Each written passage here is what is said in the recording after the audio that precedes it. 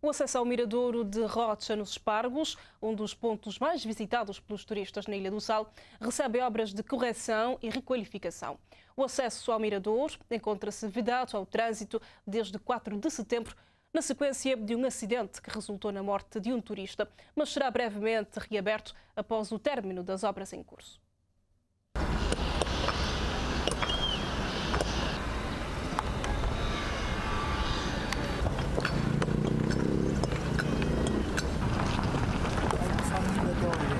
As obras decorrem a bom ritmo.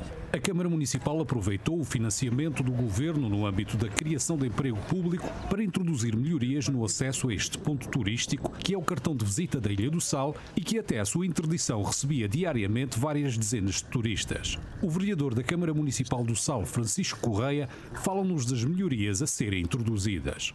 Nesta primeira fase estamos a fazer a parede da contenção e segurança, melhoria do piso e provavelmente construção dessas duas plataformas, aqui em cima e embaixo. No antigo piscina vai-se também introduzir aí uma plataforma de calçada artística e pensamos introduzir uma calçada nova desde Telecom até esta plataforma aqui em cima.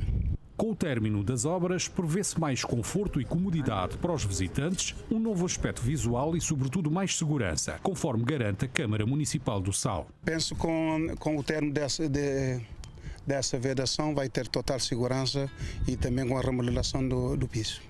E no futuro podemos introduzir a eletrificação.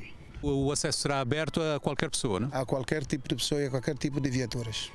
Até ao término das obras, que aguardam pela aprovação do Orçamento Municipal de 2023, o acesso continuará vedado aos agentes turísticos e utentes em geral, exceto às viaturas militares e da CV Telecom.